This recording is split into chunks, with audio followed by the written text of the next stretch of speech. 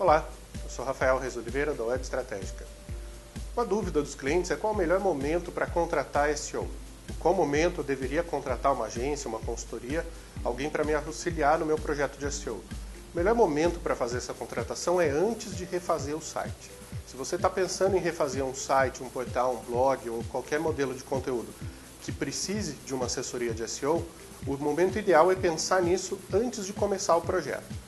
Porque o SEO vai trabalhar com o planejamento do conteúdo, com a categorização, com a arquitetura de informação, vai ter influência no layout do site.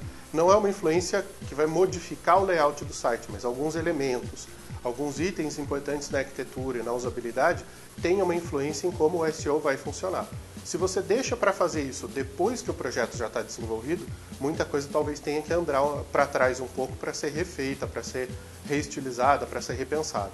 Se você coloca o SEO em conjunto com as outras áreas de conhecimento logo no começo, você consegue integrar isso com a usabilidade, com o look and feel, você consegue integrar isso com a arquitetura de informação e principalmente com a estrutura de conteúdo, com a forma como o seu conteúdo vai ser planejado, vai ser mostrado e vai ser entregue para o seu cliente final.